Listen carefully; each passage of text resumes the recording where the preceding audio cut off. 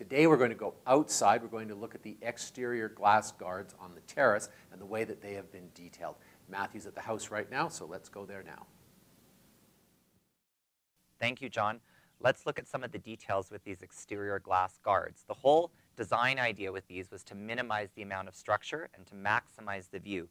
And the way we were able to do that is we used these big pieces of laminated frameless glass. And laminated glass, what that means is that there's actually two pieces of tempered glass with a clear film in between them. And by sandwiching those together, it makes them very, very strong. And we mounted them uh, with these posts. And these posts were uh, just at the bottom part of the glass. There's six per panel. And these are anchored right back into the structure of the house. To make it really strong, what we've done is we've put wood blocking all around the perimeter of the deck, and that allows a really strong surface for these posts to be screwed into the deck.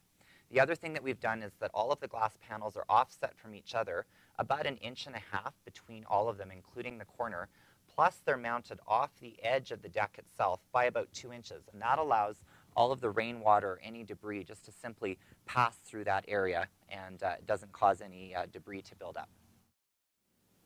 Frameless glass guards like that look great, but they do require some pre-planning to make sure that they're structurally sound. To see more details, go to our website, slowhomestudio.com.